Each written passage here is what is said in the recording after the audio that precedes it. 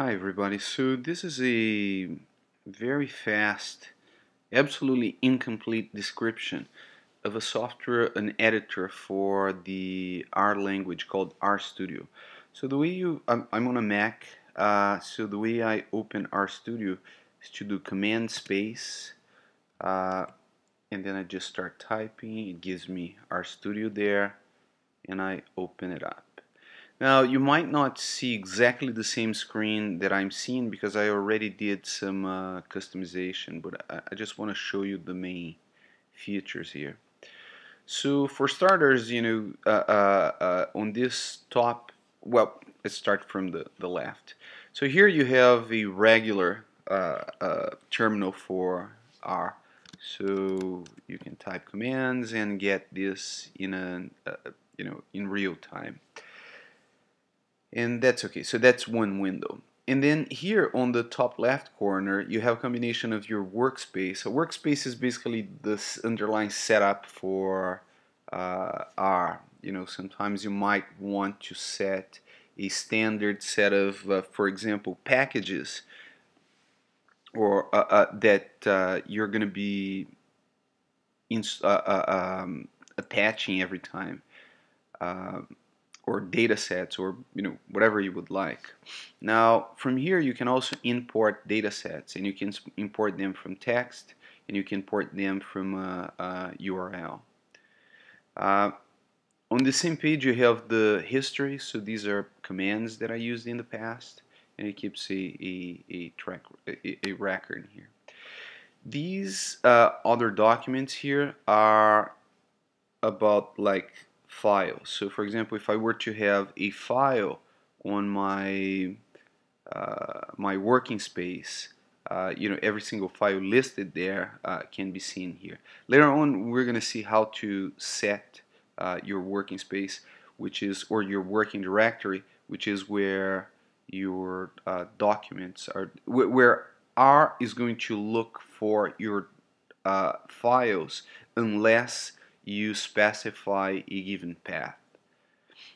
Here you also have the plots. At this point I don't have any plots here, but I could uh, potentially, you know, have a list of all the plots that I generated and then I can export also once I select my plots export them as PDF as an image or copy them to the clipboard. This section here is important. It's about, well, all of them are important, but uh, this one is very important because this one has your packages. So from here, uh, you can do things such as, for example, install a package. Um, trying to think about one. Let's see, GLM. Nah. Uh, LM not available. I'm trying to think about some package. So let's see. Let me just open up, go to CRAN, look at some packages, sorted by name. Let's see. You know, I'm just gonna pick the first one, ABC. So if I were here and if I were to put ABC, it would basically install the package for me. So right now it's pulling all the, the components for ABC. And then once it's done, it's going to list ABC around here, uh, as you can see. And then if I click on ABC, it's going to uh, call the package. Now, if I uncheck then it's going to detach the package. You can also check for updates. Uh, it's going to check for every single uh, package that I have here and tell me whether uh, they need some kind of update. And then I can also get a help. So this is the the help is similar to what you would find in the CRAN um, page this page here, uh, Comprehensive R Archive Network, uh, but you can get them within here. So this is basically about the you know these screens. On top of this, you can have the preferences where you can do a lot of customization. So, you know, I was mentioning before how to set up your working direct, directory. I've set it up in my case to my desktop, uh, but you could set it up anywhere. Uh, editing. I believe that uh, the the original setup is not to have a soft uh, wrapped for our source files. I usually like to, to have them wrapped just to keep them you know tight and uh, easy to read. Uh, here's where I selected the blue color for my editor but you could select whatever you want like the Eclipse. Uh, so it's a variation in terms of the background and uh, how exactly you know which colors are are used. And then the pane. So you you can have four windows and then you can choose exactly what you would like for each one of them. Um, so that's about uh, preferences. Um, in addition uh, files um, you can select for example for an R script which is where your uh, commands are going to be uh, stored. And then from here, once you have your commands, um, you can do a bunch of things. So for example, you can run the entire thing, uh, or you can source the active document. Now, sourcing means you send the script to R, and R runs the whole thing. Okay, and uh, if you click on this option, every time you source, uh, it's also going to save the file.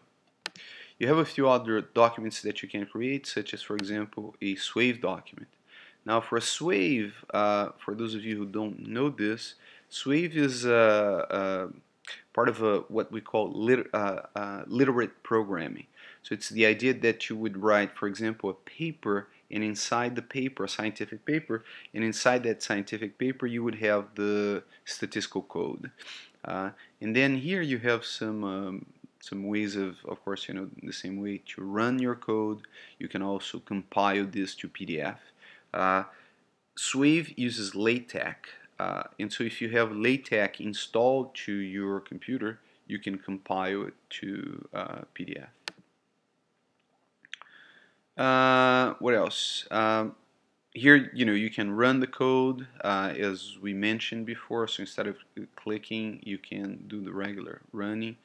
Uh, source source with echo. Source with echo the difference between the two is that with source it just, it's just gonna run the entire code. Uh, with source of echo every time it runs a new command uh, it will display the results uh, view, you can view different things, uh, you know, load the workspace. I mentioned about the workspace before. Uh, R can, you know, through a series of packages, you can basically import almost anything, any kind of file, so from Stata, from SAS, a text file. But from the menu, the, the main options are text file and from a URL. So commands in relation to plots, set working directory, we've seen that, uh, install packages, we've seen that, uh, Windows, and then help. Um, very important here, you have the uh, shortcuts. So if you want to get really, really fast with RStudio, uh, it's good to memorize some of these commands. It's not essential, you can always do them do just with the uh, clicking through the you know using a mouse, but um, shortcuts make your are in the long run they're going to make your job much much much easier. That's it.